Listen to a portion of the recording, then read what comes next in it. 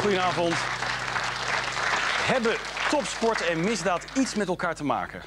Nou, je hebt natuurlijk misdadig goede sporters, maar heb je ook sportieve misdadigers? Nou, als iemand het weet, dan zijn het onze gasten van vanavond wel. Topsporters en misdaadauteurs. Klas A, dat is de sportklas. Bobsleer Arend Glas was een sportieve puber. Naast zijn VWO-opleiding deed hij aan zwemmen, tennis, turnen, voetbal en stijldansen. Ondanks deze tijdrovende hobby's kon hij ook nog tijd vrijmaken... voor het binnenslepen van goede rapporten en het onderhouden van zijn schoolliefdes. Hoewel fietsen geen hobby van hem was... moest hij elke dag op de fiets van Jouren naar Heerenveen.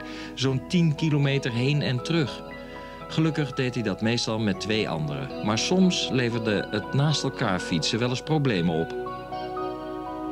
Zeilster Caroline Brouwer woonde tijdens haar jeugd in Brazilië... waar ze op een Amerikaanse school zat.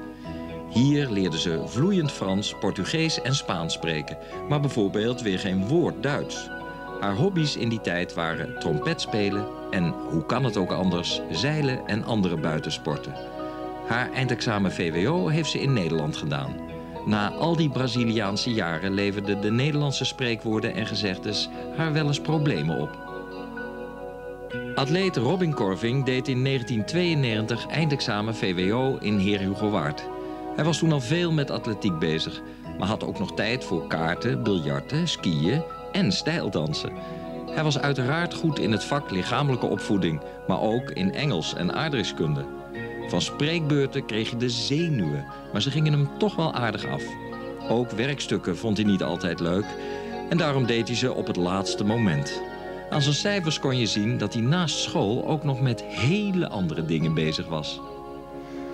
Arend met z'n drieën op de fiets op zo'n uh, weggetje dwars door het weiland van jou naar Heren. Tenminste, dat stel ik me er dan maar voor. En wat ging er mis? Nee, je mag natuurlijk maar met z'n tweeën naast elkaar fietsen. Maar we waren altijd met drie vrienden. Dus ze fietsten eigenlijk altijd met z'n drieën. En daar had ik uh, toch vrij regelmatig uh, wel eens een boete voor gehad. En dat probeerde ik één keer probeerde ik dat te vermijden. Maar dat was niet heel geslaagd. Carolijn, trompet spelen doe je ook nog, of niet? Ja, nu niet meer, maar tot een paar jaar geleden nog wel.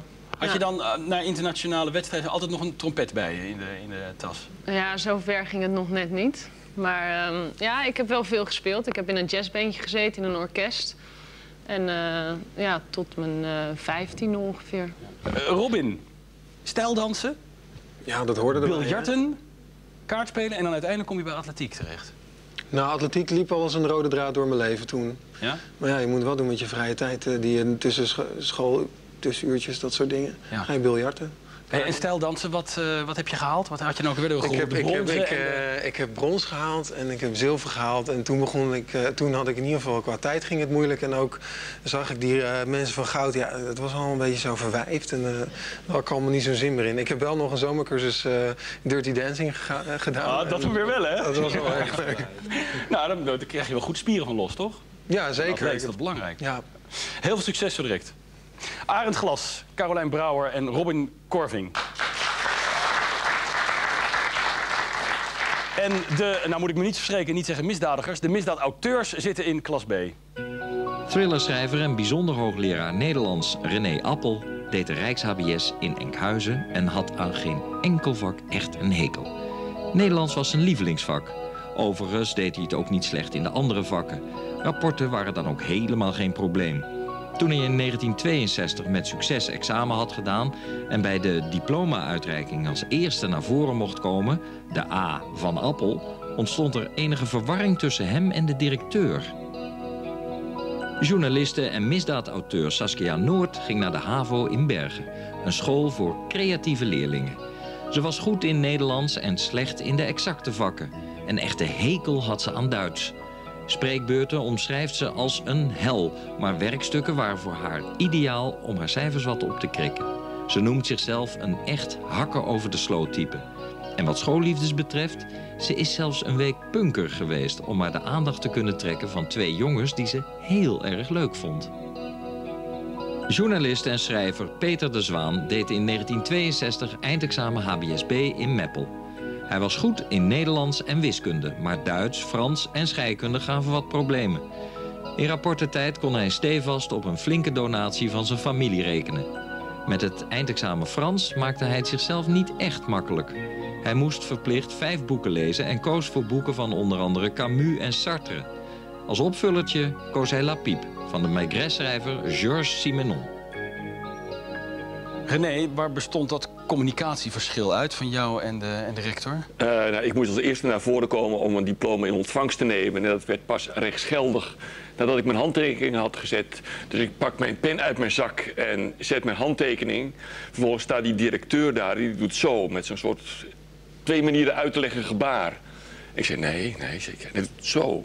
Ik zei, nee, dat is mijn pen. En ik had dus niet in de gaten dat hij mij wilde feliciteren. Ik dacht dat hij die pen wilde hebben. Ja. En ik dacht, lekker mijn pen. Jouw pen? Ja. Uh, Saskia, twee, op die foto ernet, ja. dat was niet echt punk, hè? Dat was meer een beetje echt van jaren tachtig, hè? Ja, dat was jaren tachtig. Beetje achtergrondzangeres van Duran Duran-achtige koep. Ja, dat is een beetje een compromis, was dat. Ja. Maar twee weken punker? Nou, wel langer, hoor. Maar ik ging echt van de ene op de andere dag naar de kapper. Ik zei uh, Hanekam. En toen naar de dump. En toen kocht ik buttons. En ik, zo verscheen ik de volgende dag op school. Maar om, dat... die, om die jongens te, in te palmen? Ja, maar dat, dat werkte niet. Oh. Peter, Frans, mondeling. Daar ben je, ze, hebben, ze hebben je erin laten tuinen? Of wat nee, het tegendeel was het geval. Die leraar Frans was de conrector en die had een goed overzicht op de resultaten. En die dacht, ja, die jongen die kan 25 keer eindexamen doen. Frans wordt nooit wat. Laat ik het hem makkelijk maken. Ik neem La Pipe de Maigret. Dat is een boekje van niks. Het is eigenlijk een verhaal. Daar kun je geen uh, buil aan uh, vallen. En dat was het enige boek waar ik absoluut niet ingekeken had... omdat het voor mij het opvulletje was. Dus het was een ernstig geval van miscommunicatie. En al die hele moeilijke boeken, Camus en Sartre, die had je wel gelezen? Ja, die had ik wel gelezen, ja, met veel pijn en moeite en woordenboeken... en uh, tijdroven. En na vier boeken had ik echt geen tijd meer. Dus nee. dat me kreeg gevallen. Dat, ja. ik, het enige wat ik wist is dat het geschreven was door Simenon. Dat is de enige vraag die ik goed had. Nou, laten we dan afspreken dat nu alle moeilijke vragen naar jou gaan... en de makkelijke vragen, die moet jij dan maar overslaan. Ja, ja zo doen? hoewel ik ben ervoor dat je het andersom doet. Oké, okay, nou laat maar kijken hoe het gaat. Heel veel succes, klas B. René Appel, Saskia Noord en Peter de Zwaan.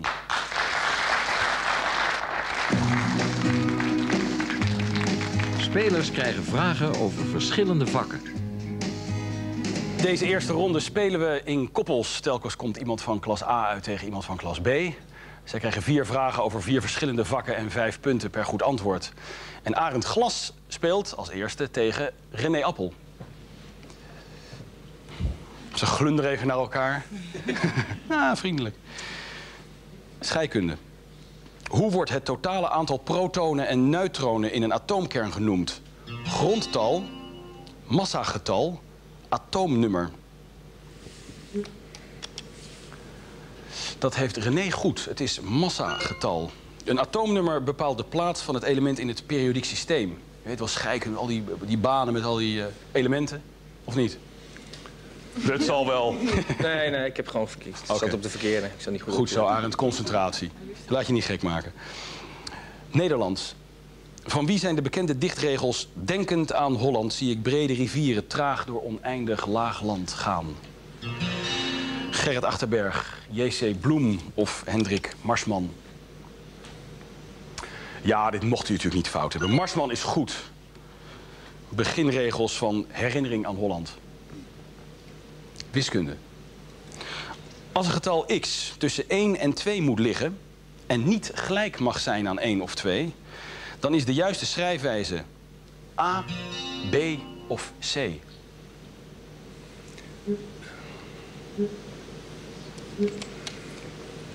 Denk aan de tijd. Ah, shit. Ja, het is A. Het was inderdaad A, Arend. Ja, dat is dat ezelsbrugje van dat, dat puntje, met, als je er een streepje voor ziet, is het kleiner. Hè? Wordt het een K. Ja. 1 is kleiner dan x is kleiner dan 2. Volgende keer op tijd drukken. Duits. Wat betekent der Gegenstand? Het voorwerp, de tegenstand, de tegenstelling. Dat hebben jullie allebei goed. A. Het voorwerp. 10 punten voor Arend, 20 voor René. Oké, opgewarmd nu bij de klassen. Gaan we naar het volgende koppel. Carolijn uit klas A speelt tegen Saskia uit klas B. Scheikunde. Welk proces is een scheikundige reactie? Sublimatie, extractie, verbranding.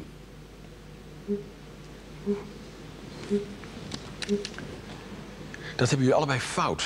Het is verbranding. Ja. Sublimeren en extraheren zijn natuurkundige of fysische verschijnselen. Hierbij verandert de aard van de stof niet. En bij een chemische reactie eh, ontstaat er een andere stof. Of stoffen, zoals bij een verbranding. Hadden we moeten weten. Ach ja. Nou, eigenlijk wel. Als je hem goed had willen hebben, had je moeten weten. Ja. En dat wil je, neem ik aan. Frans. Hoe vertaal je in het Frans ik wacht op de bus? J'attends le bus, j'attends au bus of j'attends sur le bus? A, B of C? Het is A. Dat wist jij direct, hè, Carolijn? Ja, je drukte al razend. Je bleef... Sorry. Nee, maar hij was, eh, hij was aangekomen. Goed. Biologie. Welke van de volgende organen zijn rudimentair? Dat wil zeggen aanwezig, maar onvolkomen ontwikkeld. Poten bij hagedissen, staartwervels bij mensen, vleugels van vleermuizen.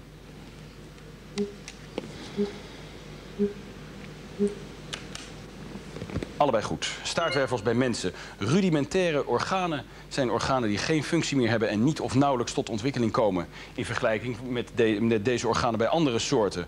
Eh, andere voorbeelden zijn het bekken van een walvis en de pootresten van reuzenslangen. Geschiedenis. Samen met welk ander deel vormt Tanganyika vanaf 22 april 1964 de nieuwe Verenigde Republiek Tanzania? Is dat andere deel Rhodesië, Transvaal of Zanzibar?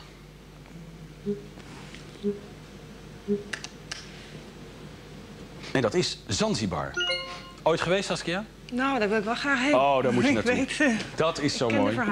Het eiland in de Indische Oceaan, ook wel Kruideneiland of Slaveneiland genoemd. Ja. Tien punten voor elk, Carolijn en Saskia. Ronde drie, Robin. Jij mag aan de bak. Krabbel nog maar even op je hoofd. En je speelt tegen Peter. Scheikunde. Hoeveel atomen zuurstof zitten er in drie moleculen CO2? Koolstofdioxide. 2, 3 of 6. Het gaat om drie moleculen CO2. En dat hebben jullie allebei goed, dat is 6. In elke molecule koolstofdioxide zitten twee atomen zuurstof en één atoom koolstof. En in drie krijg je dan dus zes atomen zuurstof. Engels. In het vierde deel van Gulliver's Travels van Swift ontmoet de hoofdpersoon de Houyhnhnms. Wat zijn Houyhnhnms? Zijn dat trollen, vissen of paarden? Oh ja. Dat heeft Robin goed. Paarden. En waarom heten zij de Houyhnhnms? Ze heten de Gwynnems. En dan kun je het al Hinnik, Ginno. Gwynnems. Ik heb het toevallig niet te lang geleden gezien. Nou, daar gaat mijn leuke uitleg. Waarin ik al hinnikend de, het klanknabootsende woord Gwynnems wilde nadoen. Ze kunnen, Nee, heel- ze kunnen ook telepathisch spreken. Dus, eh, waarom- Echt waar? Ik krijg geen extra punten voor hoor. Maar toch bedankt. Heel goed. De Gwynnems. Economie. Welke bedrijfsinformatie komt nooit voor op de balans van een onderneming? De oprichtingskosten, de gereserveerde winst of het aantal arbeiders? En dat heeft Peter goed. Het aantal arbeiders komt eh, nou ja, de. niet voor. De oprichtingskosten zijn terug te vinden op de archiefzijde van de, de actiefzijde van de balans. De gereserveerde winst staat op de passiefzijde. En het aantal arbeiders wordt in de toelichting bij de jaarrekeningen vermeld. Aardrijkskunde. Welke stad ligt hemelsbreed gemeten het dichtst bij Amsterdam? Athene, Lissabon of Kiev? Het dichtst bij Amsterdam. Het is C, Kiev. Dat dacht ik. Ik dacht het wel. Je dacht het wel. Type ja, type instinct. Druk dat dan ook, Peter. Ja. Ehm, eh, Kiev ligt op 2070 kilometer, Lissabon op 2267 en Athene op 3070 kilometer. Wat scheelt het nog? Daar komen jullie natuurlijk, eh, nou ja, Arend natuurlijk niet, maar jullie waarschijnlijk wel, Robin, Carolijn, toch? Athene? Ik hoop het wel, ja. Ja, toch? Ehm, en doordat er weinig is met de Oekraïne, worden de steden in Oost-Europa verder weggeschat dan de Zuid-Europese landen.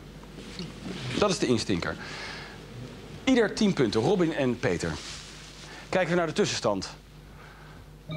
Na die eerste ronde. Klas A 30 punten, klas B 40 punten.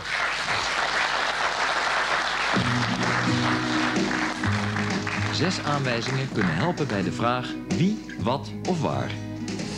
kleine achterstand voor de sporters. En dat zit de sporters natuurlijk niet lekker. Lijkt me duidelijk. Als het topsporters zijn, lijkt me duidelijk, zegt Arend. Wij gaan naar eh, wie, wat of waar. Dit spelen we per klas. Iedere klas krijgt zes vragen. Eh, vijf punten per goed antwoord. En met die goede antwoorden moeten ze proberen een thema te raden. Dat kan een begrip, een persoon, een plaats of een gebeurtenis zijn. We beginnen met klas A. De bedoeling is dat jullie samenwerken. Dat gaat lukken. Met welk orgaan houdt de oftalmologie zich bezig? De oftalmologie. Jeetje. Eh alvleesklier?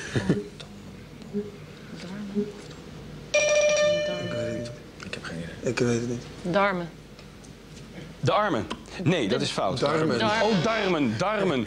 Eh, dat is ook fout. Welke kleur krijgt lakmoes als het in een basische of alkalische vloeistof wordt gedoopt? Lakmoes in een basische vloeistof. Welke kleur geeft dat? Paars, ja. Een basisvloeistof, hè? Geen zuur. Paars, paars. Nou, nou, paars dan? Het is niet paars. Dan denk ik dat het geel is. Hoe noemen, maar hou, het, eh, hou het allemaal in je achterhoofd, hè? Voor straks. Hoe noemen we het dikwijls lichtgevende uiteinde van een komeet? Staart. Ja, de staart. Maar... Hebben we daar nog een wetenschappelijke kreet voor?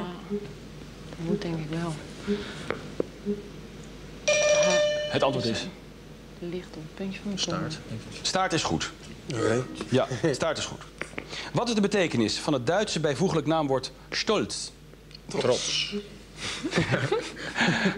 Caroline hoorde het woord Duits en die dacht... De andere mannen, trots, trots sport. Dat is goed. De drijfkracht van uurwerken voor de 15e eeuw werd geleverd door een gewicht dat bevestigd was aan een rad. Dit waren de zogenaamde gewichtuurwerken. Door het inbouwen van welke onderdelen werd het mogelijk om draagbare uurwerken te maken, zoals zakhorloges? Door welk onderdeel kwam dat? Een veer kon je opwinden met een... eh, krr, krr, kunnen krr, ja. opwinden, denk ik. Ja. Veer, dat zou, een heel goed, dat zou Ja. heel goed kunnen zijn. Dat is het antwoord. Ja. Veren is goed. Tot welke klasse van de gewervelde dieren behoort de ibis? Een vogel, ja. Ja, dat is een vogel. Een zoogdier dus. Nee, oh, dat is een... Vogel, een vogel is toch een zoogdier, ook niet? Nee. Welke klasse van de gewervelde dieren? Vogel, ja, vogel. Vogel is goed. Vogel is goed. Dat betekent vier goede antwoorden. Vogels, veren, trots en staart. Welk woord, begrip Slecht begin. zoeken wij? Pauw, hè? Zo trots als een pauw. Veren, sta- trots. Ik zou dat, eh, dat zou ik uh, pauw zou doen. Ja. Trots als een pauw. gaan. Pauw. Jullie gaan voor pauw. Ja. Pauw is goed. Yes! Ja.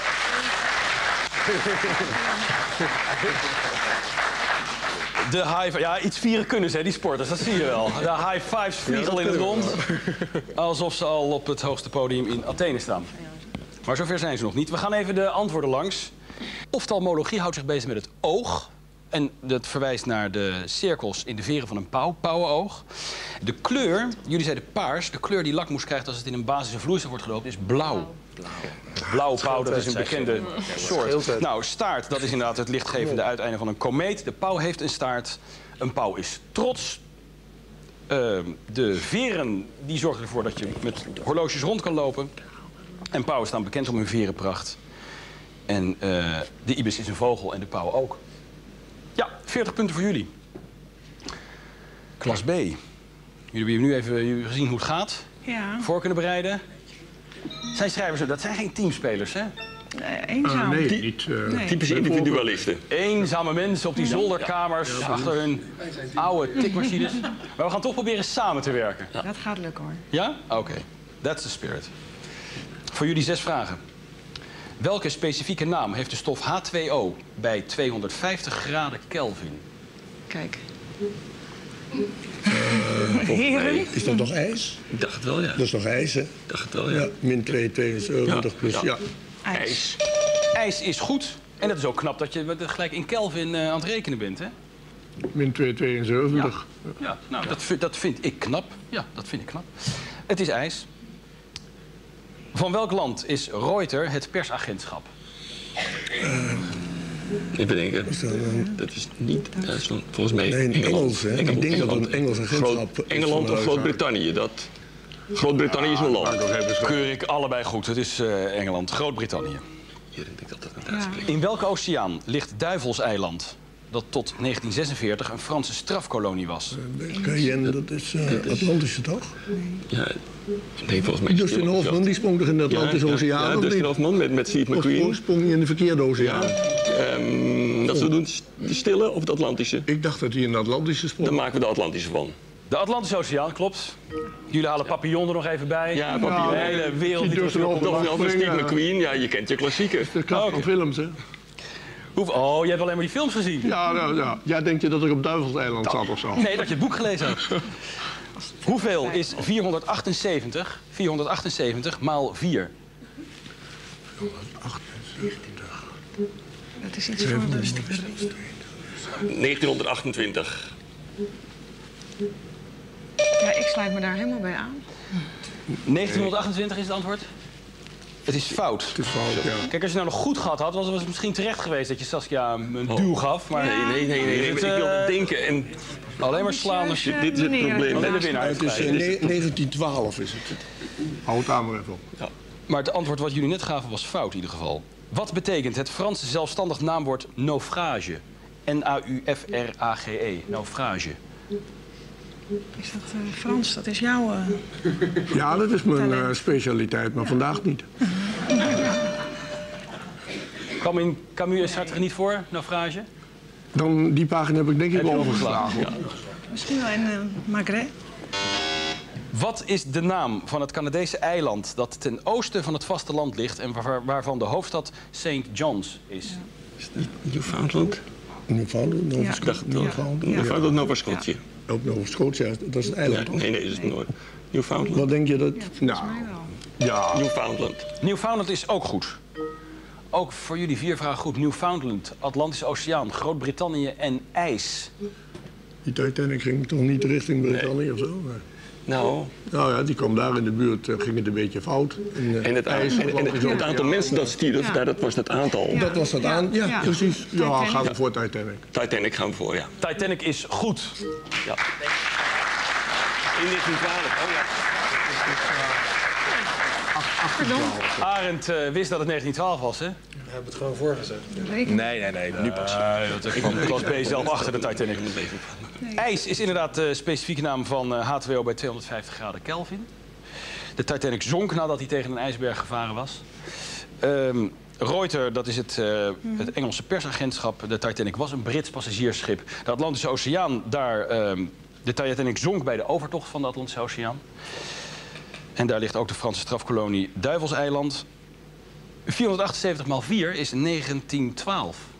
Ja, zo. En toen gebeurde het allemaal, de ondergang van de Titanic. Naufrage is schipbreuk. ja.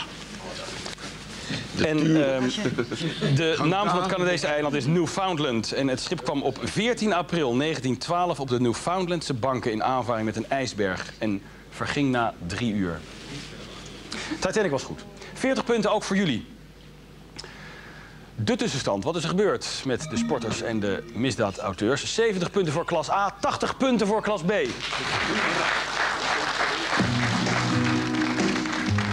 Van sport tot kunst en cultuur, maak een keuze. In deze ronde mag iedere klas een eigen vak kiezen. Over dat vak krijgen ze vijf vragen en vijf punten per goed antwoord. En we beginnen met klas A. Als jullie eh, onderin... Even naar de monitor kijken.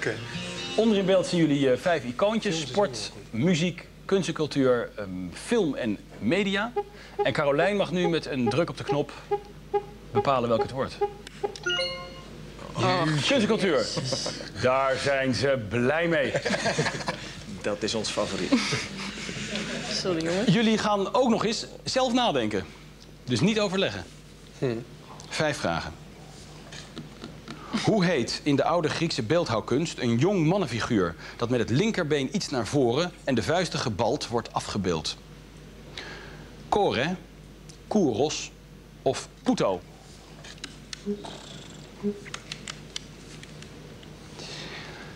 Dat is Kouros. En niet Kore. Vroeger ook wel Apollo genoemd. Kore is de vrouwelijke pendant.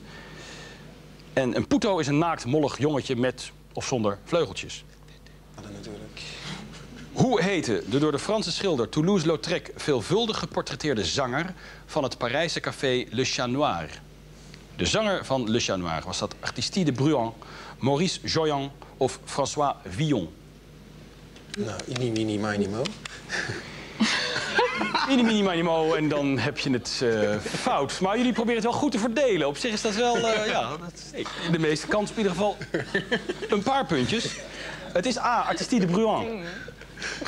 Het variété-theater Le Chat Noir kwam in handen van Bruant en ging verder onder de naam Le Mirliton. En Bruant wordt gezien als de grondlegger van het cabaret. Dat wilde, ik- dat wilde ik net zeggen. ja. Not. Welke Nederlandse kunstenaar ontwierp het Auschwitz-monument in het Wertheimpark in Amsterdam? Kees Verkade, Karel Appel of Jan Wolkers?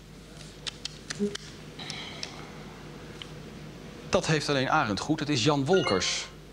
Hij legde, mis- misschien, als je nu weet wie het is, misschien kent hij legde gebroken spiegels neer zodat de hemel op die plek niet meer ongeschonden kon worden, kon worden weerspiegeld. Helaas is het monument al een aantal keer vernield. Maar ehm, het ligt er nog steeds. Welke kunstenaar maakte het beeld Ushering in Banality... dat twee engelen voorstelt die een varken vooruit duwen? Jeff Koons, Damien Hirst of Peter Klashorst? Mini, mini, mo. Het is Jeff Koons. Dat was een gok, eh, Carolijn en Arend, die Damien Hirst. Volledige gok. Absoluut. Ken je Jeff Koons? Die, die heeft ook van die, van die eh, porseleinen beeldjes... waarin hij met die Italiaanse pornoster allerlei dingen doet... die ik nu maar niet nader zal toelichten. Maar Robin heeft het goed. Jeff Koons. Damien Hirst is bekend van zijn enorme installaties met... wisten. Damien Hirst kennen jullie vast wel van zijn enorme installatie van opgezette koeien en haaien. Ja, lijkt, lijkt een beetje op varkens. Laten we gewoon ja zeggen. Naar welke Louis is de theaterprijs voor de beste theateracteur, de Louis d'Or, genoemd? Louis Davids, Jean-Louis Pissuis of Louis Bouwmeester? Nou, dat zal weer de meest onwaarschijnlijke zijn. Dat hebben Carolijn en Arend goed. Het is Louis Bouwmeester. Leefde van 1842 tot 1925. Hij was de legendarische vertolker van Shylock in De Koopman van Venetië van Shakespeare.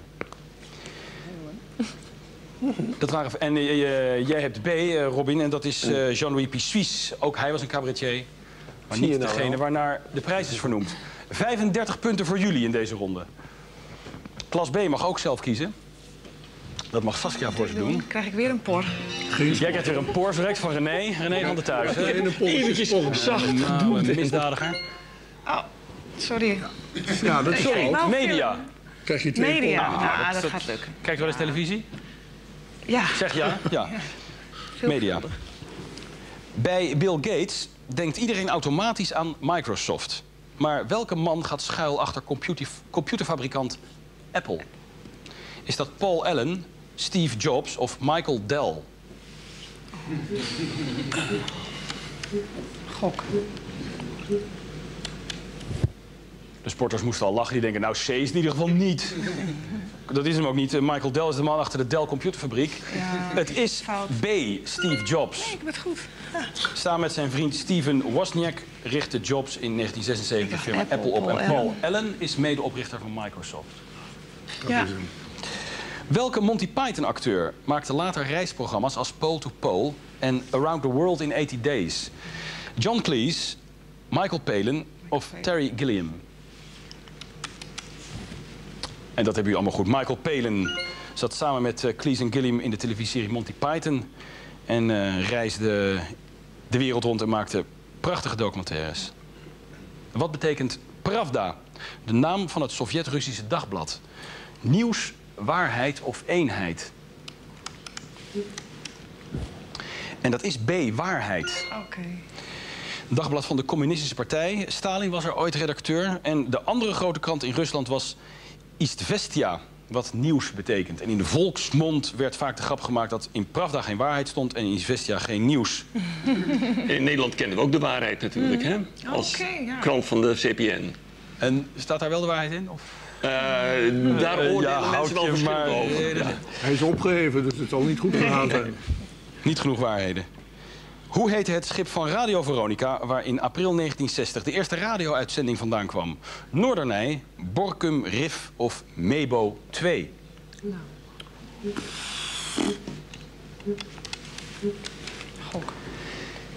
Allemaal fout.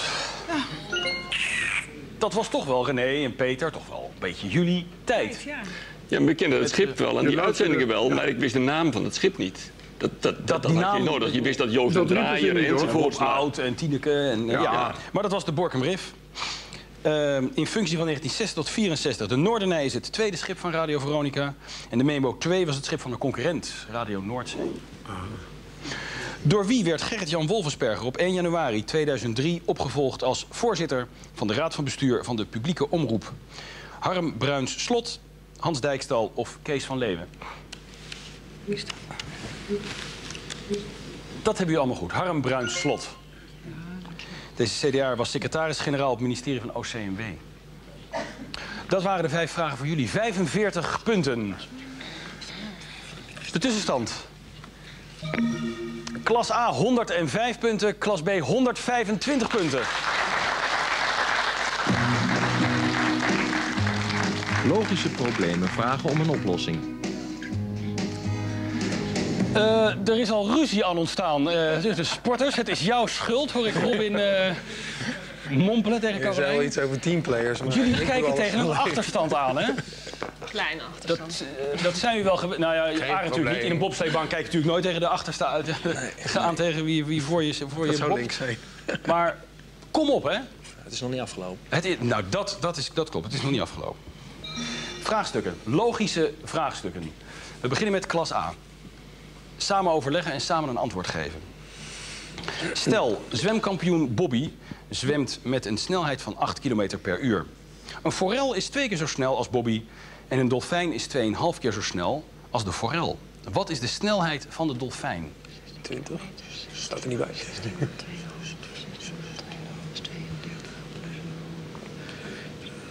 Oh, wacht even. 16 keer 2.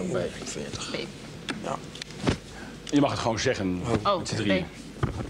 Antwoord B. B is goed. Een forel zwemt 2 keer 8 is 16 km per uur. De dolfijn 2,5 keer zo snel is 40 km per uur. Van welk getal is de helft gelijk aan het getal zelf min 23? 11,5, 23 of 46? Eh,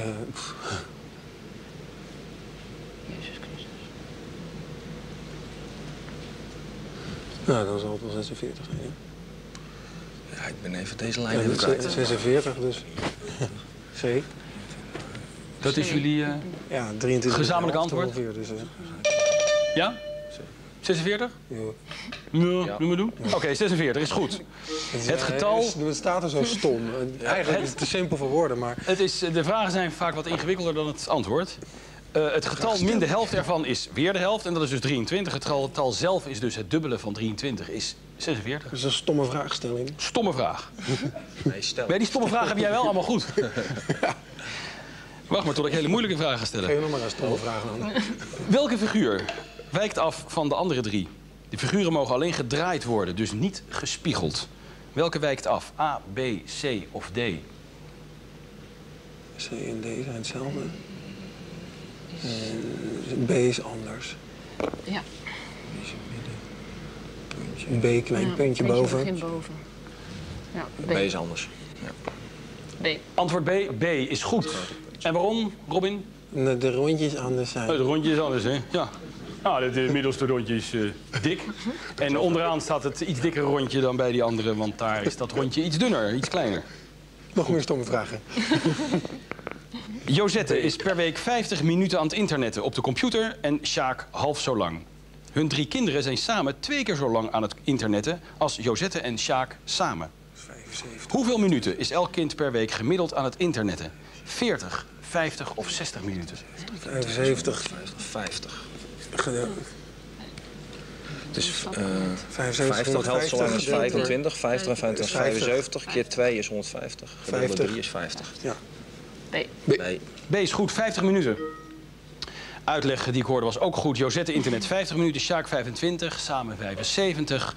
De kinderen twee keer zo lang, dat is dus 150. 150 gedeeld door 3 is 50 minuten per kind. Het is net zo lang als eh, Josette. Dus Josette moet niet mopperen op haar kinderen. 20 punten voor jullie. Klas B, ook voor jullie vier logische vraagstukken. Nou, voor mij zijn jullie wel puzzelaars, toch? Misdaadauteurs. Die moeten wel kunnen analyseren en... Ja, maar dat zijn die traditionele puzzeldetectives, Ja, de Agatha Christie-achtige detectives. En die worden niet meer zoveel geschreven tegenwoordig. Nee? Nee, nee. In dat geval niet door ons. Nee. Nou, je mocht willen dat je zo populair eh, Ja, was als Nee, Christie, voor de oplagecijfers zouden we het onmiddellijk doen. Ja. Nou, wie weet een keer volgend jaar een puzzeldetectiveje? Nou, maar daar willen mensen ook niet meer lezen. Er is geen tijd voor, die puzzels. Het moet een beetje... Ja, dat lees Psychologisch zijn. hoofdstuk Nou, van, hè, van dat soort Ja. boeken. Dan mogen jullie zelf gaan puzzelen. Stel, in een week schijnt de zon op zondag, maandag en dinsdag vijf uur per dag. Op de andere dagen van die week zes uur per dag. Hoeveel uren van die week schijnt de zon niet? 85, 129, 145 uur. Even is 15, 4 tot 6. 15 en 4, 39. 15, 24. En dan? En hoeveel uren schijnt hij? per dag. Vier dagen is 24. Eh, en 10.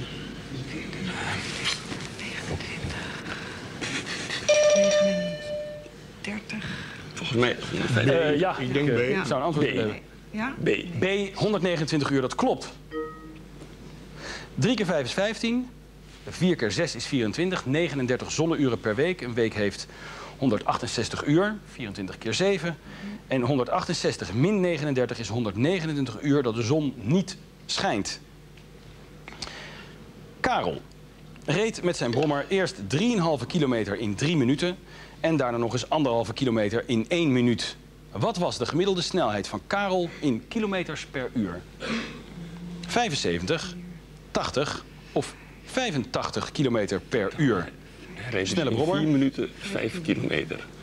Eh, dat is dus 15 keer 4 keer 5 is 75 kilometer. 75 kilometer volgens mij. Ja. 75. 75 is goed. Jij bent toch best wel een puzzelaar hoor, René. Eh, meer een rekenaar dan een puzzelaar. Oké, misschien, oké. Eh, Omdat de het gemiddelde... rekenen ook wel eens fout gaat hoor. Ja, maar dit ging goed. De gemiddelde snelheid is de totale afgelegde afstand gedeeld door de nodige tijd. In totaal legt Karel 3,5 kilometer plus 1,5 is 5 kilometer af in 4 minuten. Een uur is 15 keer 4. In een uur legt hij dus 15 keer 5 is 75 kilometer af. Nou, ja, nooit een brommertje opgevoerd, nooit een brommertje opgevoerd, Karel eh, Arend. Het is theoretisch, doe me niet zo vervelend. Die, voor mij rijden die pizzabrommertjes allemaal eh 85 km per uur. Tenminste, als ze bij mij over de stoep rijden. Welke figuur kan niet precies gemaakt worden van deze drie stukjes? De stukjes mogen alleen gedraaid worden. Ze mogen elkaar niet overlappen. A, B of C. Dat kan wel. Ik denk C. Ik zie het niet. C, denk ik. Oh wel. Kan B. Jongens, kijk eens even naar B. Ja, B kan wel. Ja, Zeker B niet. kan. C. Zeker niet voor. C kan niet. C. Een B, B kan wel, hè? Ja. Ja. Ja. Peter had nou maar volgehouden. Het was B. Bij B is een overlapping. Kijk, je ziet een paars stukje. Dat Oh, de Ik vond overlap. het Is precies de overlapping. Ja. Nee, Ja. ik dacht, dat is Ja. vast. De 16 Ja. spelers. Ja? De 16 spelers van voetbalclub Rapid krijgen allemaal een nieuw shirt. Het opdrukken van de naam Rapid op de rug kost 1 euro per letter per shirt. De totale rekening is 400 euro. Hoeveel kost één shirt zonder opdruk? 10 euro, 15 euro of 20 euro? Je hebt dus vijf letters. Die kost dus 5 euro per shirt. Eh, Dat is 80. Per shirt. ja. En hoeveel? 16 keer 5 is 80. Eh 80. Nou, 20. C. Het antwoord is C. C is goed. 20 euro. Ja, ik 16 toch verrekt dure shirts, dus ik wantrouw het. 16, ja, maar een beetje mooi, voetbal, een beetje mooi voetbalshirt. Ja, Ah, dat betalen die voetbalverenigingen zelf niet hoor, dat betalen gewoon de Nee, gemeentes. precies. 16 maal 5 letters is 80 letters. Dat is 80 euro. 400 euro min 80 is 320. Gedeeld door 16 is 20 euro. Heel goed, 15 punten. De tussenstand. Is er iets gebeurd? Zijn de sporters iets ingelopen? Sporters 125, de schrijvers 140 punten.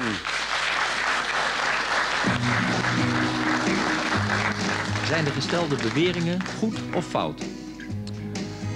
Maar dit is een ronde waarin eh, normaliter veel punten gescoord worden. Dus het kan nog, sporters. Goed of fout? Jullie mogen de rode en de groene knop gebruiken om antwoord te geven op de vraag... is de volgende bewering goed of fout? Vijf punten per goed antwoord. Het Franse woord moustache, snor, is mannelijk.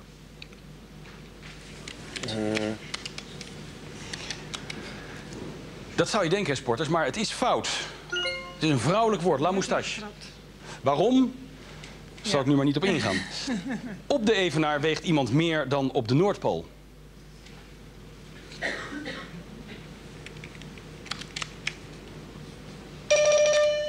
Dat is fout. Door de afplatting van de aarde bij de polen is de zwaartekracht op de Noordpool groter dan op de Evenaar. Je staat dichter eigenlijk bij het middelpunt der aarde. En hier wordt, wordt er sterker aan je getrokken en is je gewicht groter. Een celorganel is een onderdeel van een cel met een bepaalde taak. Hallo René, we zijn weer. Ja? Een celorganel is een onderdeel van een cel met een bepaalde taak. Dat is goed. De laatste vraag. Het woord omdat geeft een oorzaak aan.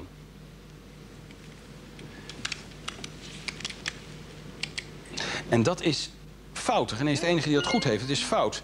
Omdat geeft een reden aan. Doordat geeft een oorzaak aan. Ja, dat is een Gezifte vervelende laatste vraag hè, voor die laatste, voor die vijfde ronde. Wat is er gebeurd met de tussenstand? Was dat het al? Dat ging snel. Klas A 140, klas B 180 punten.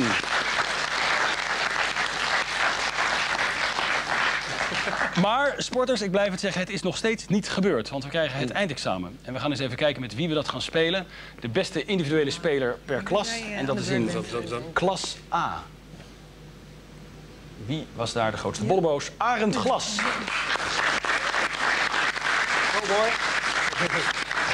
En in klas B is dat Ik niet in ieder geval. wie oh wie. Nee, het is René. Wie heeft het gedaan? Wie van de drie? René Appel. René Appel uit klas B speelt het eindexamen tegen Arend Glas uit klas A. Welke klas haalt de meeste punten en wordt winnaar van herexamen? Arend, wat is nou spannender? Een beetje een bobfinale of... Nou, ik moet zeggen... Deze- eh, dit herexamen. Dat was toch wel even een hartslag wel even omhoog. eh, Ja, hè? Net als voor de start. Ja, net als voor de start. Oké, nou maak er maar een lekkere bobstart van. We kijken eens even naar jouw lijst. Heb je zelf ingevuld. Engels goed, biologie een stuk minder. Economie ook, eh, geschiedenis ook goed. Je hebt anderhalve minuut. Je kunt eh, 45 punten halen. Heb je alles goed, worden het er 90. En heb je aan het eind vragen fout en tijd over... mag je in die vragen een herexamen doen. Oké? Ja. Succes. Aardrijkskunde. In welk werelddeel ligt Kalmukkië? Ik zeg Azië. Scheikunde. Welke elementen komen in het periodiek systeem der elementen verreweg het meeste voor? Ik zeg metalen. Engels. Hoe heet de mannelijke hoofdpersoon in Jane Eyre? Eh Heathcliff. Biologie. De meeste planten en dieren ademen. Wat produceren ze daarbij naast waterdamp? Koolstofdioxide. Nederlands. Wat is de juiste schrijfwijze? A, B of C? Ik zeg B. Economie. Welke functie heeft geld bij het vergelijken van prijzen? Een eh, ruilfunctie. Geschiedenis. Welke van deze Amerikaanse presidenten werd niet rechtstreeks verkozen, maar kwam aan de macht na het aftreden van zijn voorganger?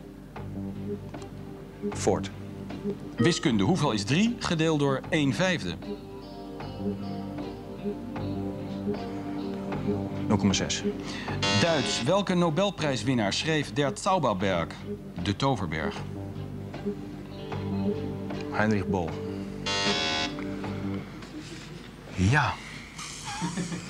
We zijn er nog niet. Je, kan nog, ja, je hebt nog even tijd om eh, een herexamen te doen. We beginnen met economie en daarna Engels. Economie. Welke econoom ontving in 1976 de Nobelprijs voor Economie? Uh, Friedman. Engels. Wat is de Engelse vertaling van het zelfstandig naamwoord wapenstilstand? Uh, het is A. En die telt nog mee, want de vraag telde nog mee. Ja, mooi hersteld. Heel goed. Ja, toch Engels nog, economie en geschiedenis. Knap gedaan. Arend, dankjewel.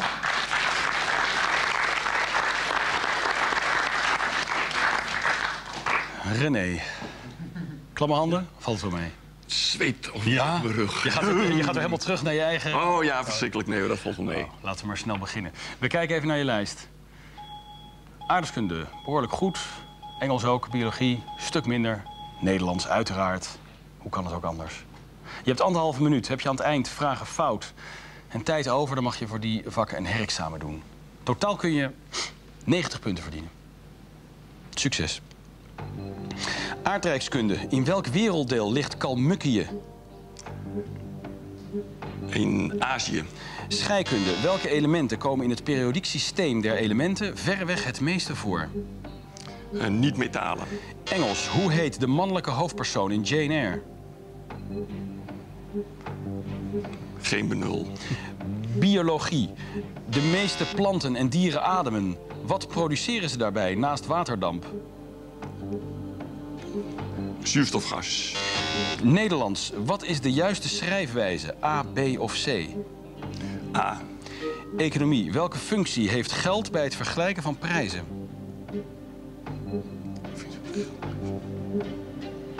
Vergelijking, ja. Zeg maar wat. Eh, waarde. Geschiedenis. Welke van deze Amerikaanse presidenten werd niet rechtstreeks verkozen, maar kwam aan de macht na het aftreden van zijn Gerald voor... Ford. Wiskunde. Hoeveel is 3 gedeeld door 1 vijfde? 1 punt... Nee, 3 gedeeld door 1 vijfde. A, B of C? Eh, B. Duits. Welke Nobelprijswinnaar schreef Der Zauberberg, de Toverberg? Thomas Mann.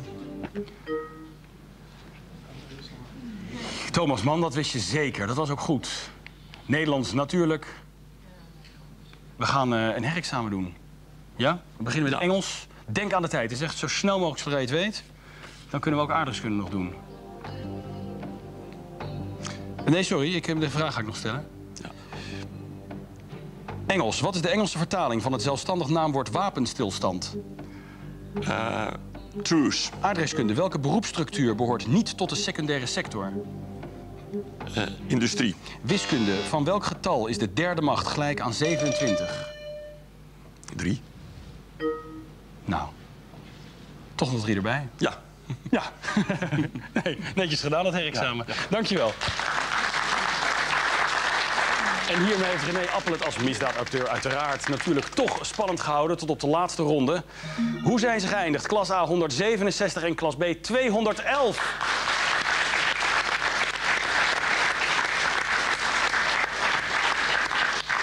Een sportief applaus. Maar wel jammer, hè? Dat is niet fijn hè, voor sporters om te verliezen. Nee, dit is... We hebben gezien wat we gaan krijgen. Jullie krijgen deze digitale camera. Fantastisch. Voor in de tas over de hele wereld. Lekker fotootjes maken. Heel hartelijk bedankt. En eh, ja, toch gefeliciteerd met die zilveren plakken. Arend Glas, Carolijn Brouwer en Robin Korving in klas A.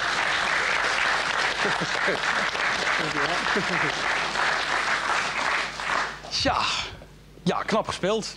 Spannend. En voor jullie deze televisie om al die films te gaan bekijken die over jullie boeken gemaakt gaan worden in de komende jaren. Voor jullie alle drie één. Heel hartelijk gefeliciteerd. René Appel, Saskia Noord en Peter de Zwaan. Dit was uh, herexamen. Tot de volgende week.